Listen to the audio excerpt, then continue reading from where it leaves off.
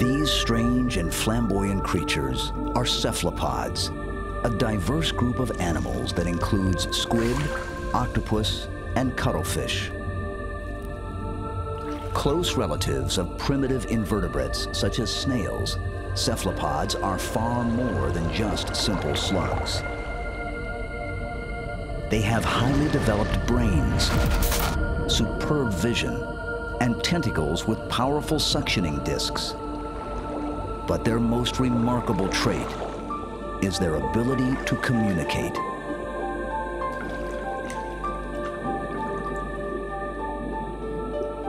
With complex visual signals and posturing, some cephalopods appear to speak to each other.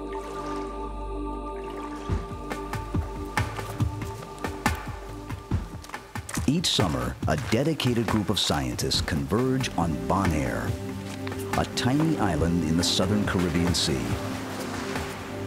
Theirs is a revolutionary quest to discover if common reef squid are capable of language. In the final frantic weeks of their short lives, reef squid appear to read and write distinct messages on their shimmering skin.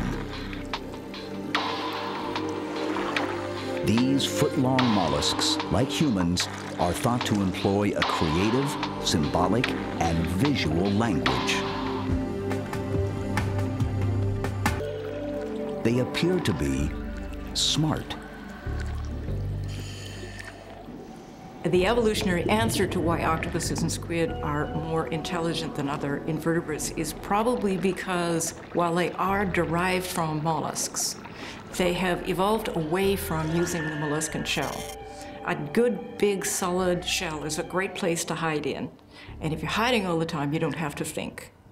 As soon as you get out from the shell, you are what some people have described as bait. Anything can get you, anything is interested in getting you, and you don't have any built-in protection. Probably not the only way, but an excellent way to get around the problem of not having any protection anymore is to have smarts. Martin Moynihan in the early 1980s said that he believed that the squid might make a visual language on their skin. Now this is a really big idea. Humans have language, and clearly monkeys have the ability to make a reasonable, primitive type of human language. If this were a third language in the animal kingdom, this would be big news. This is a really big question to tackle. Let me see if I can go and crack this particular nut.